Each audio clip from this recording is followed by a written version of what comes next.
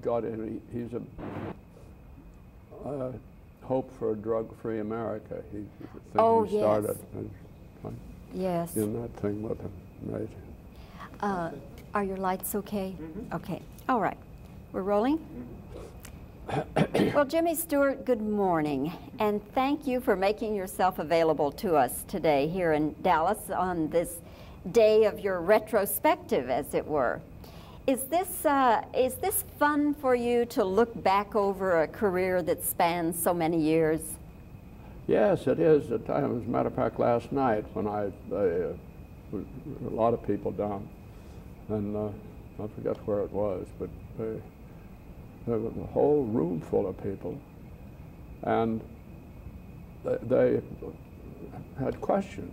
They, and th th this got me started with, and I started remembering things that I hadn't thought about for a long time. I, I talked my head off for an hour, just uh, just remembering things, you know, just remembering things that happened, and things about Hitchcock and so on. All, uh, and I had a wonderful time. If my records are correct, your first movie was 1935 Murder Man, is that right? Now, Miss, Miss Spencer Tracy. And how did you happen to get that role? Well, you see, it, it, in the in the studio days, things were a lot different than they are now.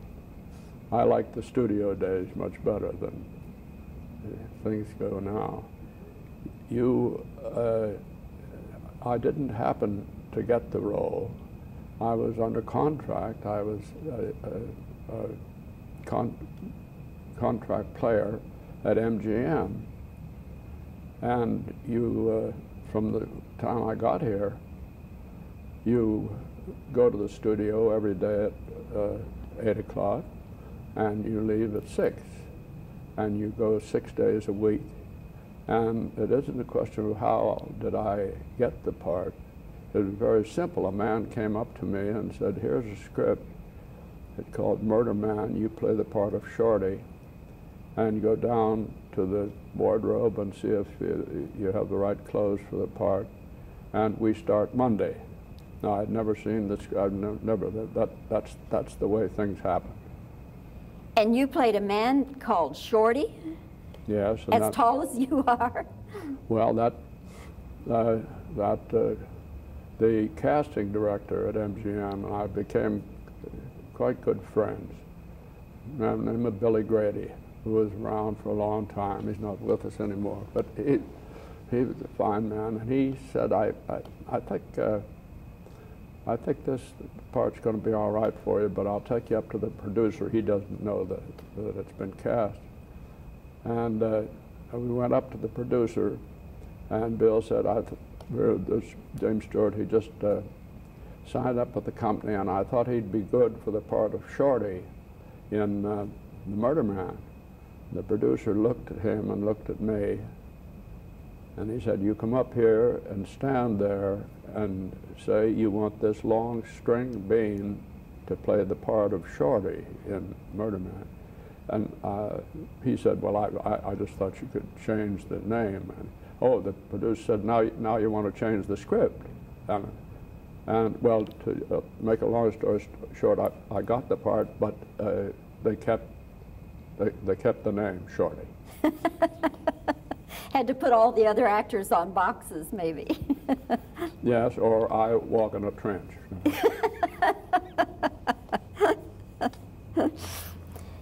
if I may, Jimmy, I'd like to do uh, just a quick little retrospective. You know how we are in television, it all has to be done quickly. But I'll just uh, toss out some questions and you just give me uh, the first answer that comes to your mind. Referring now to your films, which one was the most fun to make? Well, the most fun to make, and I think the favorite, is It's a Wonderful Life. Which one was the most physically difficult? Oh, well, all the westerns were a little tough, and uh, but this was good for you. You, you uh, this was fun. You were on location a lot of time. You do, were on the horse a lot of time, and uh, uh, it, physically it was, uh, they, there was a lot of it, but that was a part of it, and uh, you enjoyed it. The most difficult character? I suppose Mr. Smith was, uh, I suppose that, that uh, I would think so. Because of the long speeches, or? Not so much, uh, but uh, I had to really, I had to, in my, my own mind, I had to sort of, sort of stabilize the character and uh, just uh, know exactly why I was yelling around and doing all this thing. And, and uh, uh, Frank Capra was a tremendous help to me, but I still had to, ha had to sort of in my own mind, so, sort of stabilized the thing. And this was kind of, hadn't been in the movies very long, and it was, it was a little difficult. What comes to mind when I say Alfred Hitchcock? Uh, one of the finest directors, I think, one of the finest movie makers ever. He, uh, he had completely his own style of directing. He had uh, his own style. He was tremendous. Uh, he, he, he came better prepared, I think, than anybody I, would ever seen. I, picture like Rear Window, he, he worked for six months on that script and had it so that there wasn't a question. I never saw him look at a script during the shooting of the picture. Never. Uh, maybe, maybe the maybe the script girl would come over to him and say, uh, Mr. Hitchcock, the, the people didn't say what's here at all. They've changed it all around. He said it sounded fine, and, and he was he was very difficult for the script girl, but uh, uh, in a class by himself. The role that was least like you gee, I don't know. I, I uh, all the new, all the new sort of thing that uh, I could uh, at least like me. That that never was the point, you know. They they they would they would pretty much try to get the get the roles not like Murder Man, but get the roles that uh, I, I, sort of by the ones I'd done before that I, I sort of uh, fit in. I, I, I really don't know. Of all the locations, did you have a favorite? I was thinking about that the other day. There's a place, Durango, Colorado, right up on the top of the mountains, the perfectly beautiful part of the country. And I made quite a few pictures up there, westerns. Uh, it's a it's one of the one of the few remaining narrow track railroads that and what it what it started uh, Silverton was way down in the valley and this one of years ago was one of the biggest silver mining areas in the country, and the, and the town of Silverton was quite large, and this was way back in the old days. But uh, there was so much going on, and so many people in the uh, in the town. There was an opera house. Opera singers from New York came and performed. There was a wonderful theater, but all the fancy plays came. To, this tiny little town, and it was very hard to get to until they put in this little narrow gauge railroad, which was very tough because it was just big mountains like that. Uh, but they kept it, they kept it uh, going over the years. The silver, uh, I, I shot a picture down in the town of uh, Silver because there's no more silver. They really, they really cleaned the place out, but they kept the town as, as a sort of a tourist attraction. Which film do you consider your best work? Well, I, I, It's a Wonderful Life is always my favorite, uh, uh, and uh, I will. I, I, I, think the fav my favorite from all points of view. But a thing like Mr. Smith, I thought probably some of that was uh, uh, stuff that I remember. Jimmy, did you ever turn down a film that you later wished you had done? Yes, yes, I did. It, it, was right after Rear Window when I uh, had the wonderful, uh, wonderful good fortune of uh, being in the film with Grace Kelly. She, she was just, just absolutely wonderful. And this was her fifth film.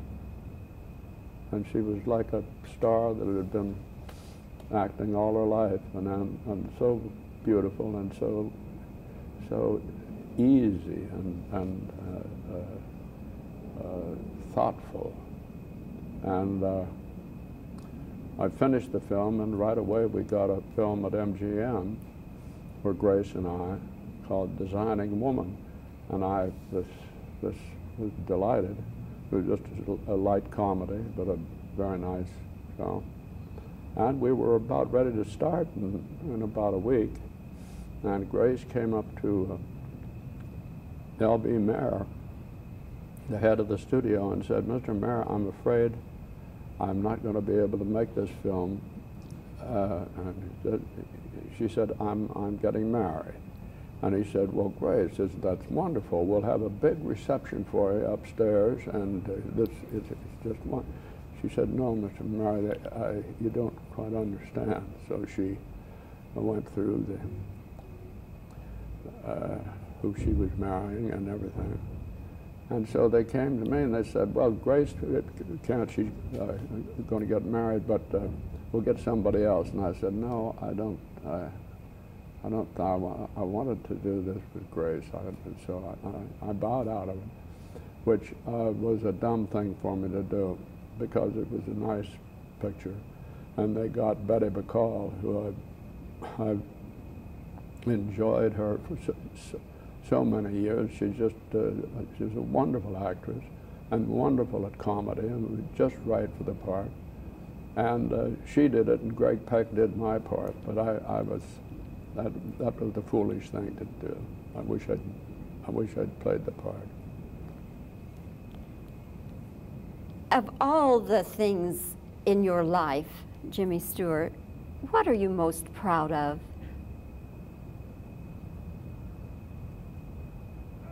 Well, I, think you sort of go, I'm proud of my, fa my family, I'm proud of my, the, the, uh, the fact that I, I learned the value of hard work very early in my life. And uh, being not a very good student, I was able to I was able to graduate from Princeton. Uh, it was touch and go there. But, uh, that that uh, I, I, I, was very proud of proud of that. Uh, and looking back over the picture business, over the whole, whole idea of acting, uh, I had no idea I was going to act when I was in Princeton, but it was all I got it from Josh Logan. But I, uh, looking over the career and everything, I'm, I'm, I'm proud that, that I uh, got started and picked acting as a career. Are you still called General by some people? Every once in a while I get it. You like that? Oh, yeah. Yes, fine. Remember, it's, uh, it was quite an honor. I, I was very honored to receive that. How many stars? Just one star, Brigadier. Brigadier General. What, uh, what do you predict for the Oscars this time? Best Picture, for instance. Well, according to, I, I may be Rain Man uh, and uh, maybe Dustin Hoffman. That, that's sort of the thing that's going around. Uh, I haven't seen all the, my wife and I haven't been very good moviegoers this year, but uh, this, the, this seems sort of a, uh, one of the top choices. How about Best Actress? That, that looks like a real race to me. Yes, I'm, I'm just not sure, I'm, I'm not sure of that at all.